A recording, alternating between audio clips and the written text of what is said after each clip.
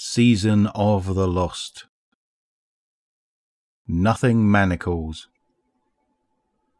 The equations balance thus You are diminished, and I am exalted. You are broken, and I am made strong. Sajari drifts face up through the amethyst eddies. She maintains her focus, keeps her mind calm, so that she can stay nestled in the magic flow between places without emerging, without attracting the hive. She can sense them around her, their foul presence charging the ley lines, waiting for a pocket of potential space to materialize.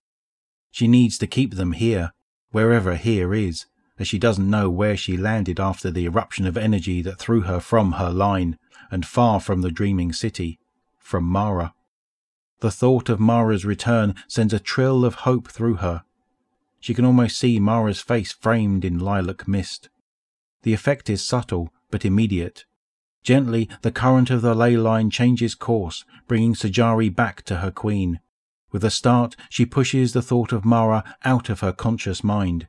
She thinks instead of stillness, of the flickering blackness of the bleak plains, of the awful limbo of being trapped between worlds.